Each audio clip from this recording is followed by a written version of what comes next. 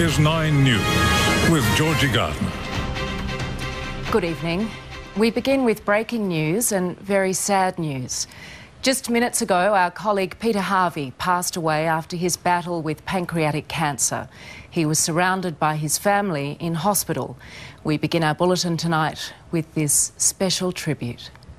More than one million men are now standing to at battle stations out there. Standoff in the desert is likely to continue for several days. Mr Hawke told Parliament that all the relevant documents in the Mick Young affair were already contained. We all thought our friend's voice would roll on forever. But probably the night's most important reaction is coming from Labour MPs. It seems like it's always been there. A constant, enduring remembrance of things and people. For 37 years with Channel 9 covering big politics, big wars. If Iraq can withstand a week or two of the Allied offensive, there are no reports of damage and no reports of injury. But also the little triumphs of life. Does it matter what side of the road you're driving on? By the way, would somebody please phone home and let them know where I am? And learning along the way how to face his own mortality, fighting pancreatic cancer. But when the lethargy gets very bad, push through it. Get up, go to work. And you may still be tired and terribly lethargic, but at least you're doing something. Peter was born a Bondi boy and began his career as a cadet at Sydney's Daily Telegraph. He made the Australian journo's traditional pilgrimage to Fleet Street, where he would be celebrated as British Reporter of the Year. Change in the weather was the last thing anybody forecast. Peter was always drawn to the big story and switched to the American magazine Newsweek covering the war in Vietnam. Never too precious, Peter was always ready to do a spoof of himself. If you've ever wondered what it feels like to be sitting in your living room when the earth starts to move, then this is the place for you. If the past is anything to go by, and it usually is, the future for the Wiggles looks pretty good. Peter Harvey, 9 News. But it was the small detail he searched out and wrote about which made his work so human.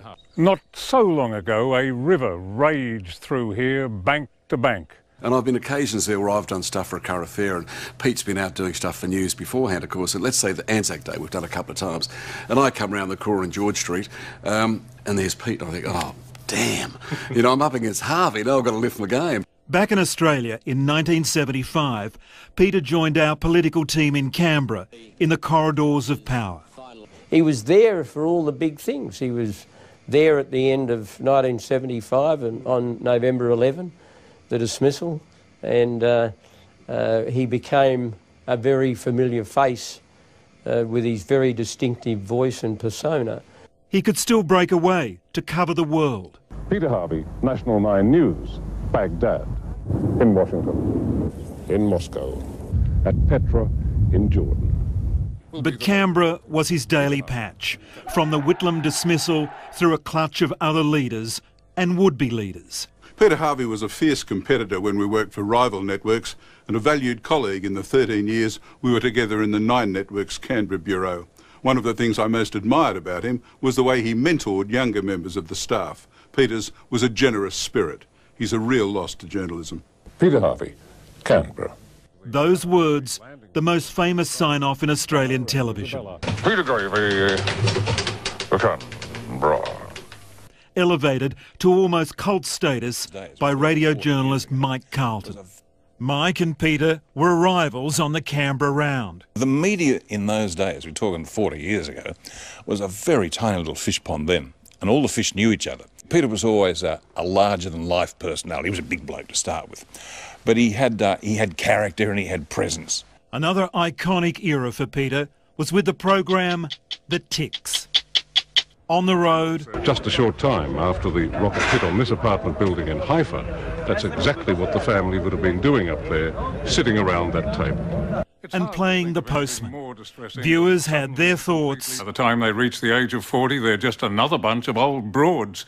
Being cutesy belongs to the Stone Age, which is where most of them belong. And Peter had his.